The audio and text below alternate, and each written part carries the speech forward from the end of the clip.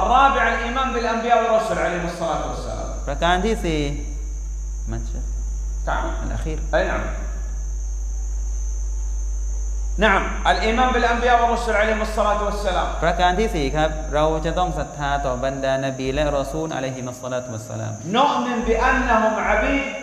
เราศรัทธาว่าไงศรัทธาว่าพวกเขานี่ก็เป็นเบาวของ لا เรา يعبدون ที่ไม่ถูกเคารพสักการะ ورسل لا يكذبون عليهم الصلاة والسلام และรอซูลเราจะไม่ปฏิเสธพวกเขา وأن الله أرسلهم และอัลลอฮฺสุบะตะลาส่งพวกเขาเหล่านั้นมา وأوحى إليهم และทรงวิวรณ์หรือทรงวะยูให้แก่พวกเขา وأيدهم بالآيات และได้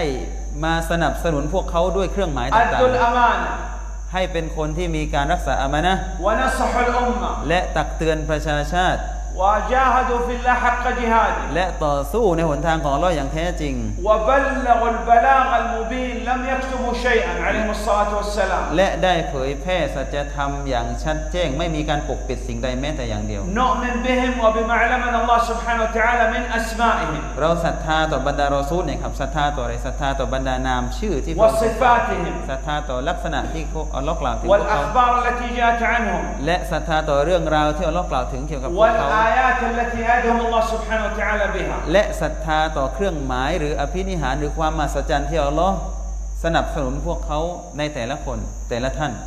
نؤمن أن أول الأنبياء آدم عليهم الصلاة والسلام เราศรัทธาว่านบีท่านแรกนี่ก็คือท่านนบีอาดัมอะลัยฮิสสลาม أول الرسل نوح عليهم الصلاة والسلام ส่วนรอซูลท่านแรกนี่ก็คือท่านนบีท่านรอซูลนูฮ์อะลัยฮิสสลาม خاتم الأنبياء والرسل نبينا محمد عليه الصلاة والسلام นบีท่านสุดท้ายที่มาปิดท้ายนบีปิดท้ายรอซูลก็คือนบีของเราครับ أي إنسان يأتي بعد موت النبي صلى الله عليه وسلم يقول أنه نبي أو رسول نقول والله كاذب وكافر كفر أكبر ใครก็ตามครับที่มีชีวิตมาหลังจากการเสียชีวิตของท่านนบีสุลต่านคือเกิดมาหลังจากการเสียชีวิตของท่านนบีเนี่ยแล้วก็มาอ้างตัวว่าฉันคือนบีนี่ เราบอกว่านี่คือการปฏิเสธและคือการ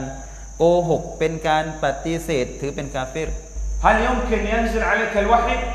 เป็นไปได้ไหมว่าวะยูอัลลอฮ์จะประทานลงมาให้กับเราตอนหลังเนี่ย إذا إنسان يعتقد هذا هذا كافر ถ้าใครเชื่อแบบนี้นี่